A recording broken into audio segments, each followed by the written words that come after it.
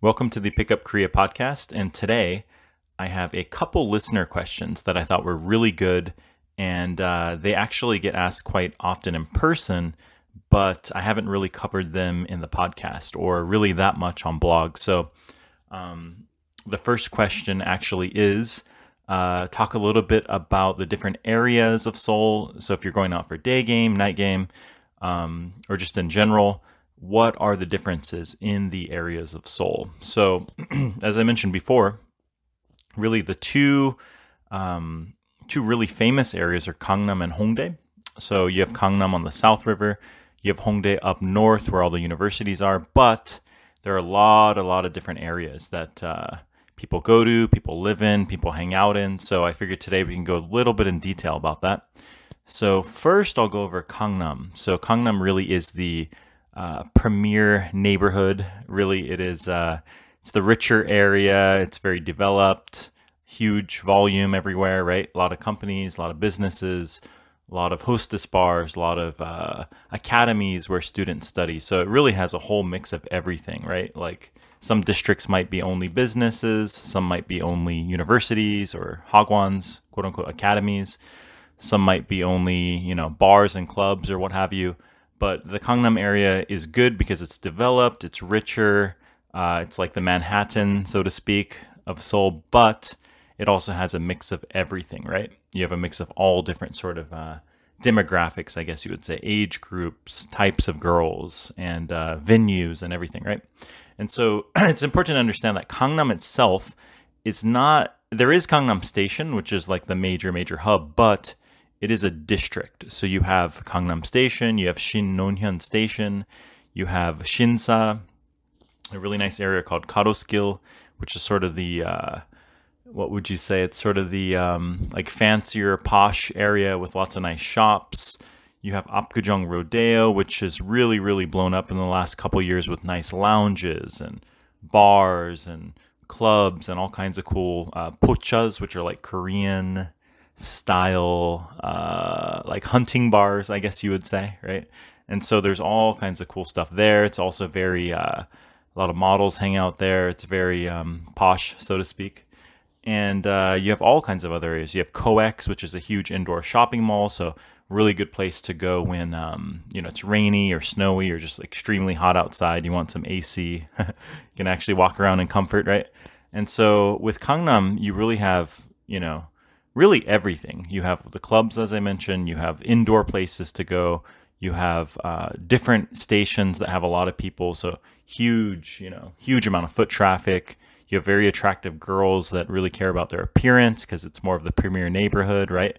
And a richer neighborhood, a lot of plastic surgery, your beauty clinics, fashion uh, shops, and what have you. And so yeah, a lot of people who stay in Korea like over a year almost all want to live in Gangnam. Not everyone. I mean, it depends on your temperament, but guys that are really into, um, really want to live like in a more modern area with like the most attractive girls, pretty much all congregate to Gangnam. Uh, so that's a major, uh, major hub, major area. And so, uh, yeah, it has a good mix of also day game. So really one of the best places for day game because in the whole district, just tons of foot traffic and uh, different demographics. And then in terms of night game, now that Corona's over, there's just bars are open. You know, all the bars are back open. Um, tons of new clubs are opening again, and the old ones are reopening. So you have all the clubs and everything. So it really isn't missing anything other than there's not as much of the foreigner type bars, like not as much of the um, you'd almost call them like international party bars, right? Where you go there and it's like all girls that speak English and it's all foreigners congregating there. There are a few places here and there that you can go like that, but um, it's not as uh, popular or there's not as many as in a place like Itaewon, right? So I guess we can contrast with Itaewon, which is just dog shit for the most part in the daytime. It can be okay. There's some uh, little bit of foot traffic, not much, little bit of attractive girls in the daytime, but it's really not that great overall, you know, if you're actually trying to go out. Whereas at nighttime, it's just one of the best places. Overall, you have, you know, just tons of bars, lounges, and um, there are more Korean style places or places where, you know, attractive girls hang out. but there also are a lot of those sort of like what you would call like international party bars, right? Where they're just all English speakers. Um, some attractive girls hanging out there, sometimes not. Something, you know, um, most students or most friends that I go sometimes will hang out there. And then you go over to like a club in Gangnam or um, like a nice area, like I mentioned, like Apgujeong Rodeo, and like the ugliest girls, like the hottest girl in the, in those international party bars in Itaewon, right? But but the good thing about Itaewon, you do have a good mix. You have different, um, uh, you know, different lounge bars that have attractive girls as well, and you have different kinds of venues um, that are almost Western friendly, right? More English speakers, which is good. And so uh, it, it is a place that people really like hanging out, especially foreigners as well. And so Itaewon, really, like I mentioned, maybe very high on the night game radar, very low in rating on the day game. Uh, going to actually hang out there in the daytime and do some street approaches. And then another neighborhood, as I mentioned, is Hongdae. So Hongdae, you have um, kind of like Gangnam, you have a big, uh, a good mix of like day and night. Like a lot of people walking around, huge hub of universities and uh, some businesses and things like that. But uh, you do have a lot of foot traffic, so it is a good place for the daytime to go out, approach. Um, as far as the demographics go, whereas in Gangnam you had uh, a mix of you know night workers, uh, hostesses, um, you know girls that work at all kinds of companies from Samsung to Hyundai, right? You have all those big companies. You have students with all the English academies, the math academies. Um, you have really everything, right? Whereas in Hongdae, it really changes over to mostly university students, right? Which can be a good thing because it's sort of a little bit more specialized, right? If you're into the students. And also, on the other hand, too, a lot of them have to learn English and have to study at least a, a, um, a basic level of English, right? And so you have that. Not that all of them can speak English, but there's, you know, with the younger crowd, a lot of them can speak at least some basics, right? Uh, and then, of course, you have, you know, English majors and girls that lived abroad and what have you. And there are also a lot of the bars there and clubs there that sort of are more of the international style, right? You have like places like Thursday Party, Cocky's Pub. They're more catered for foreigners, uh, very foreign style. You have like beer pong and darts and all the kind of usual things you might be used to in Austin, Texas, or you know Boston or wherever wherever you're coming from, right? And so, uh, yeah, so Hongdae is overall good. As I mentioned, demographics are students, good for day, good for night, um, good mix of different kind of venues. Um, but I would say if you compared it to Gangnam, less diverse um, and less, uh, what would you say, less like posh, less fancy, right? And so, and with Itaewon, you have kind of a mix of, uh, kind of a mix of everything. You get students, you get workers, and uh, a lot of girls who lived abroad, more internationally minded girls, I guess you would say. And so we have Itaewon, Gangnam, and Hongdae. So those are the three ones that really I've written on. Um, you can actually look up on the blog. I have some writings on it. And uh, those are the three places a lot of people go and hang out. But there are tons of other places that I haven't really mentioned and that uh, guys go out to. And so I figured it would be a good chance to introduce some uh, what would you call them? like hidden gems, I guess, or not really hidden so much if you live here, but even for some guys who are here, they really only go to those three places. So, uh, yeah, they could still be considered hidden, I guess, right? So, uh, a couple other places. So, there's Jamsil, which is uh, about 15 minutes from Gangnam, and it is a very major hub as well. You have a lot of people that live there. It's one of the richer districts because it's pretty much, you know, pretty close to the Gangnam area, but they have this huge tower called Lotte Tower. It's about 124 floors, like the fourth biggest in the world. And what's good about it is it's this huge, like massive complex of underground shopping mall connected to a department store, connected to an amusement park, which is called Lotte World, which is like the Disneyland, right? And then you have that huge tower, like fourth biggest building in the world, and then a huge like six floor mega uh, shopping mall, Lotte World Mall, connected to it. So it's almost like walking around in this massive, huge airport complex, almost like so. Uh, yeah, you can go there all day and just approach all day, and there are a lot of um. I've been noticing like, a lot of Korean guys out there approaching because number one, the traffic is really good, and number two, um, it's a good mix of different kind of girls as well, different quality as well. So it is a pretty good place to go hang out and approach. And behind it, there's a big lake that people like to go hang out at. Like they walk around, hang out, have coffee or drink. So it's a little bit more laid back there as well. Called Seokchon Hosu. So you got Jamsil, uh, an area to look into for sure. Um, what I notice is that a lot of the, whereas in Gangnam, a lot of people live here, Hongdae, a lot live there, but oftentimes also it's people going to hang out in those areas. Whereas in Jamsil, I notice you get a lot of either um, like people that work there or people that live in that. Uh, it's called Songpa district. So, so it is somewhat. Uh, you get almost of a different crowd of more of uh, like local people to that area. So it's a little bit of a different thing, and you do get a mix of uh, different ages and what have you. And so that's an area. And then not far away from there, you have the Gunguk or Gundae.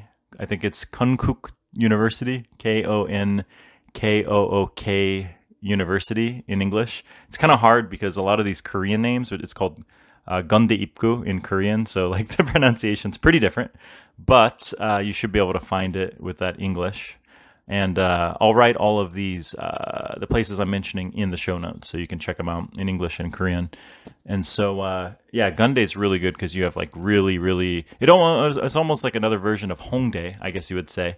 But um, it's, uh, I almost feel like even younger crowd, even of a younger, like, yeah, I feel like Hongdae you get like 20 to 26, 27, you know, maybe something like that. Whereas in Gundae, you get that as well, but I feel like there's a more concentration of like 20 to 22 year olds for some reason. And so, from what I've heard, it's because not only do you have the universities in that area, but also it's kind of a place where like the young people of Eastern Seoul hang out, right? So that area is called Eastern Seoul. And uh, yeah, there's a whole district on that side, and it's sort of the main hub where they go drink and hang out and go shopping. So you do have a couple shopping malls there, uh, smaller ones you do have a lot of restaurants and like tons of bars and pochas. Not really like nightclubs like you would see in Hongdae or Gangnam or Itaewon, but uh, a lot of bars and pochas, more Korean style places, um, and pubs and things like that. A lot of volume, so it's a good place as well.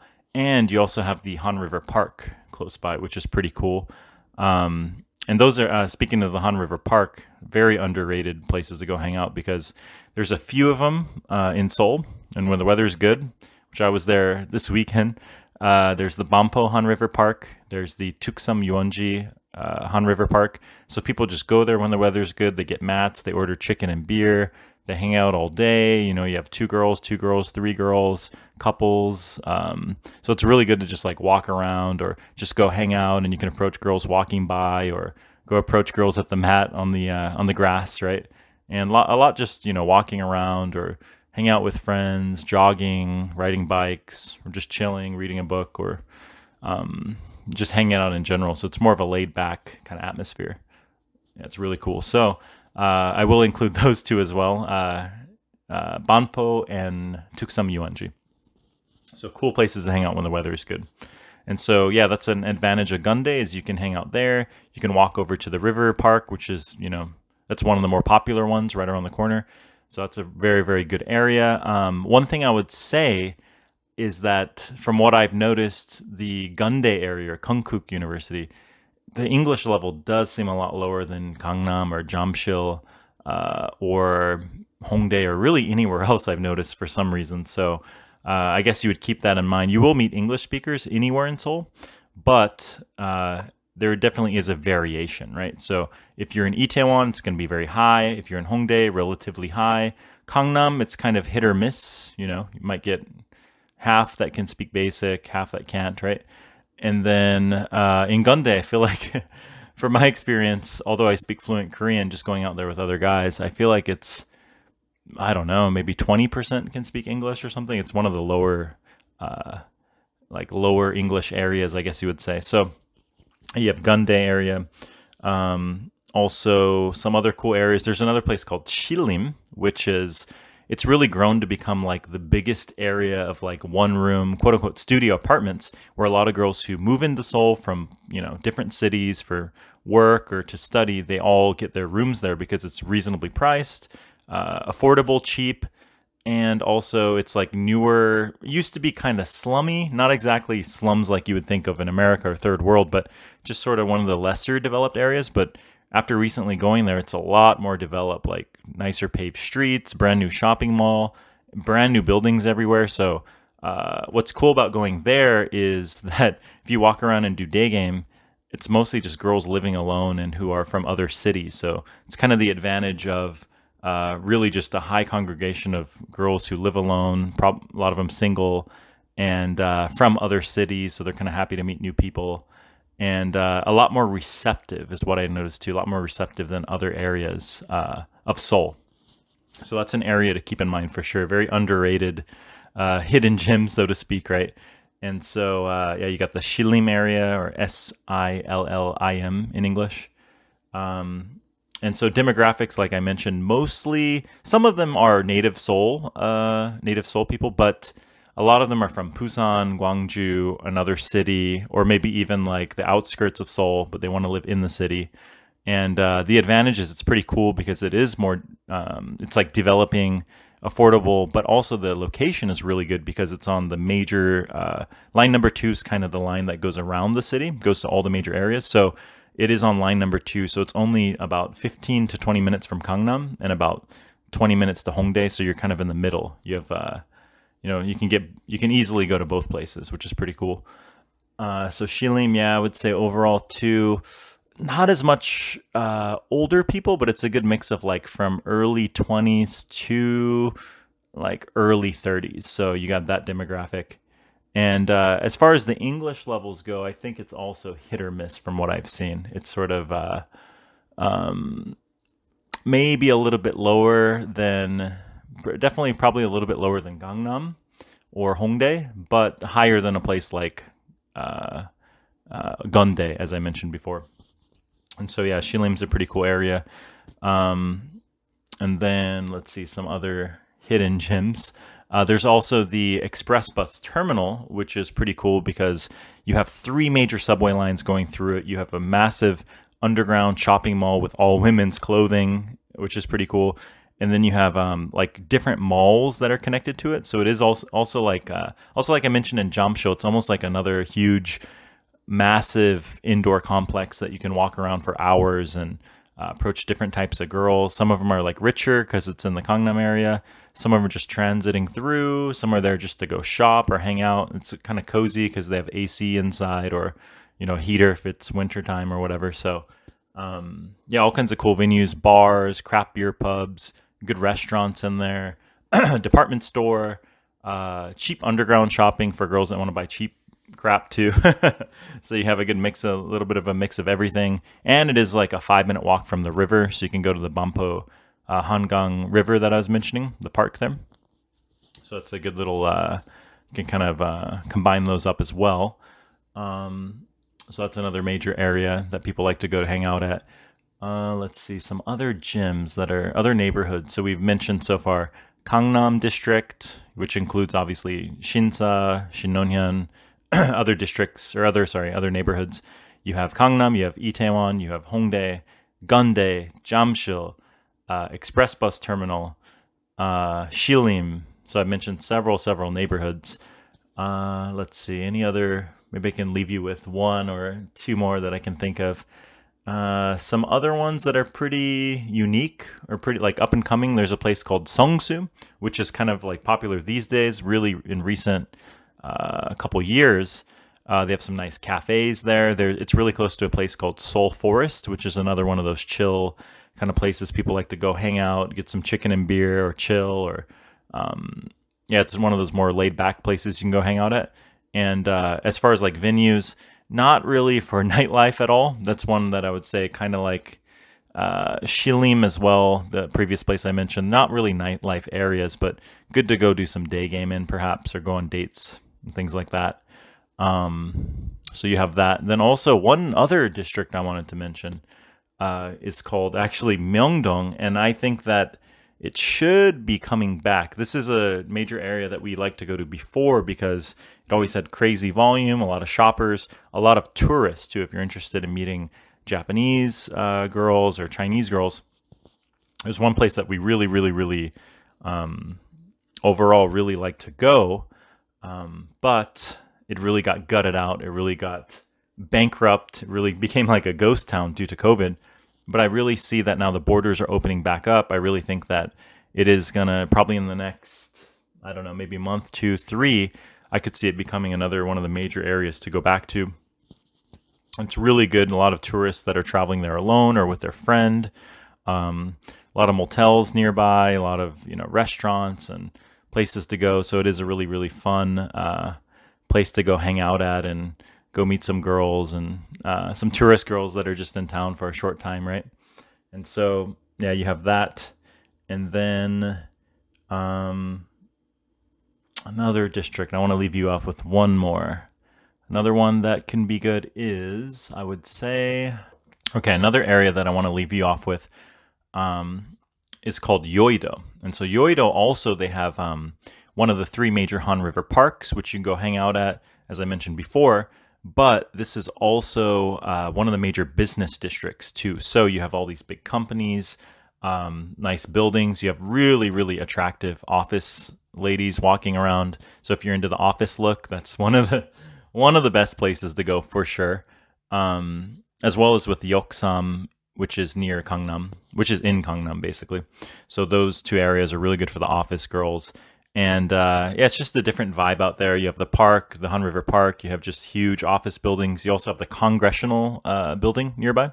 So you have you know politicians and uh, people that work in that field too. So just a good mix of like professionals, I guess you would say. So a lot of people like the more classy professional types, you know, driven business chicks. So that's a pretty good place to go.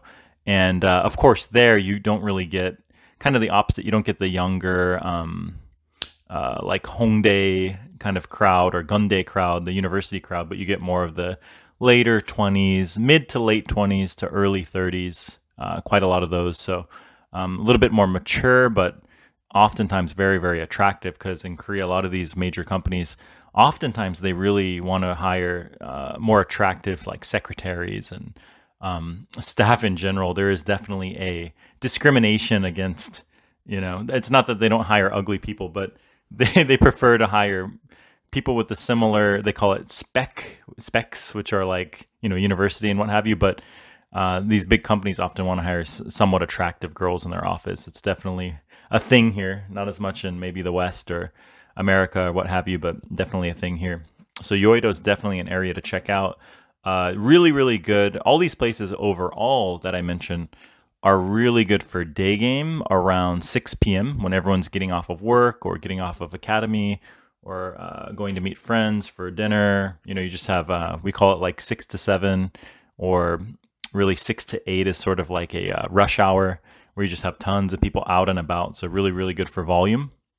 And then again, of course, you know, in the afternoons and uh, after lunch, you get more of the people that kind of work freelance or they have the day off. So you, you have the advantage of maybe even meeting ones that are free and bringing them on an Insta date or just having more uh, relaxed interaction. So they're good anytime, but if you're looking for the volume, really six to eight.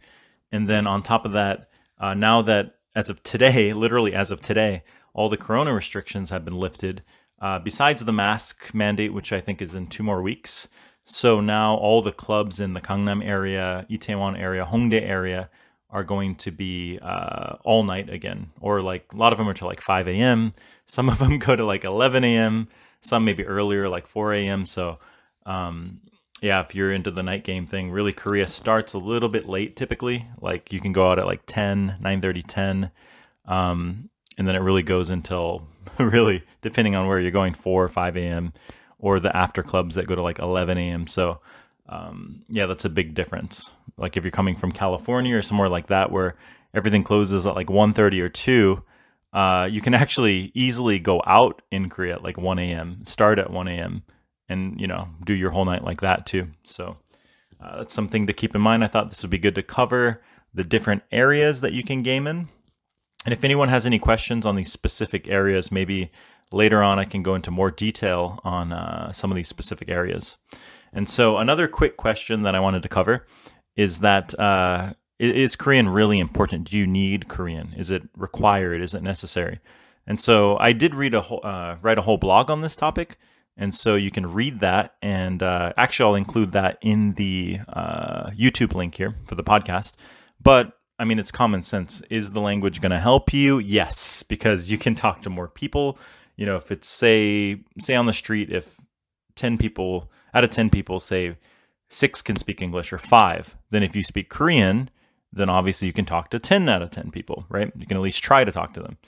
Um, if you don't speak it, then you might be more limited to half of them, or the ones that are sort of uh, you can kind of get by with your body language and speaking slow and uh, working your vibe, right? Using your sub communications, which also works. I've had plenty of students do that. But of course, um, it's a tougher path, right? And so, yeah, does learning the language help? Yes. Is it necessary?